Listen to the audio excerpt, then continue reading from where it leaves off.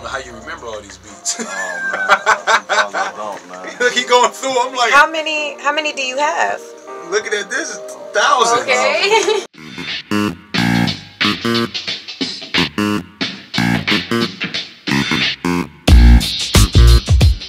First studio session was, it was just, it was dope.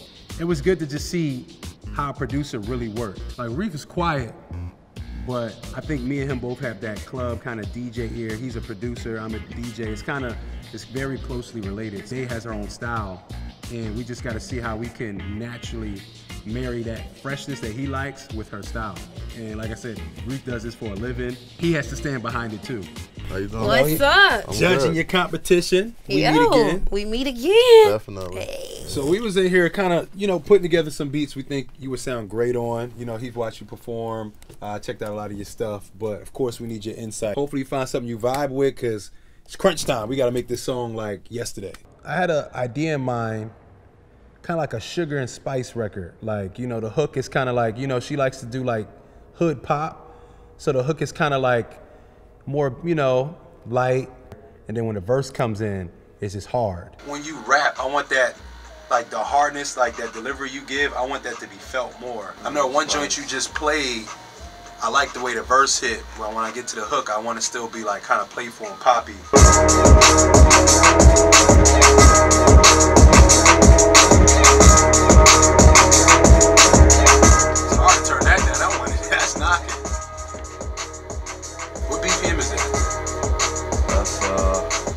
93. Okay. So why is that important? The club, Yeah, for the clubs, like radio. a lot of lot of songs right now that's popping pop or even like in that lower that down tempo like 70 75 or it's like 82 to like 92 mm. so when you make a song you kind of want to sit in that range so your song can mix with other popping songs I definitely want to do something with a bounce because I feel like if we have to do a single, it has to be something. It when you hear it, you move to right away. This will work. no this one is kind of hitting everything on the head like it's hard but it's still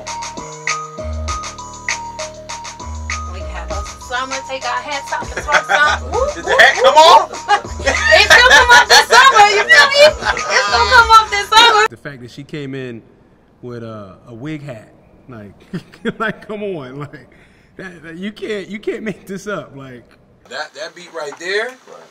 That's everything we was looking for. Like I said, I wanted something like you know sugar and spice, something hard but still a little dainty, so it could be cute for the ladies. Right. But do you want to listen to some other beats? Like we got the producer here right now. I think it would be smart to like listen to a few other joints and have like a variety. No, 'cause yeah, for sure. You might fall in love with Get some something else too. this one feel good.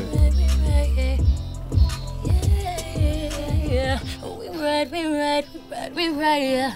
We ride, we ride, we ride, we ride, yeah. And this the first beat she starts actually like mm-hmm. crooning to. Mm-hmm. This might be it.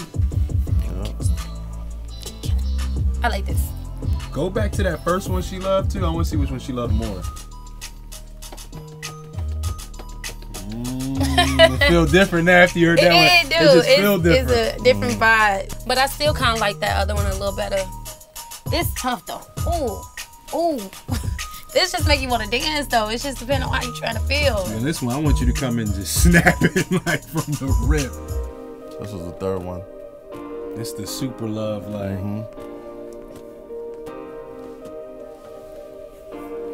Just want to get you in feelings. Ah.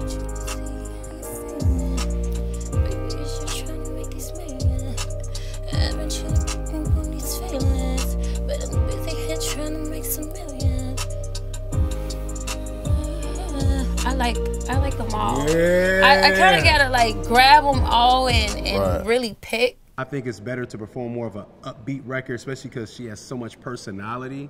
Like I feel like she can let that record shine more. Like she can sell it more. You have to perform this record, right? Right, right. So we know you bring the energy when you perform like up tempo records. So mm-hmm. that might be something you want to consider. Not Yeah. saying you can't deliver when you do a slower record, but you know you got people there. Everybody else must might be doing a turn up joint.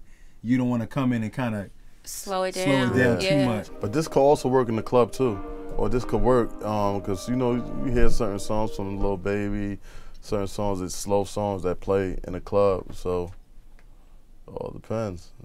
Okay, let me just take them all. Take all 'em three. and I would say take two though. I really would say take your top two.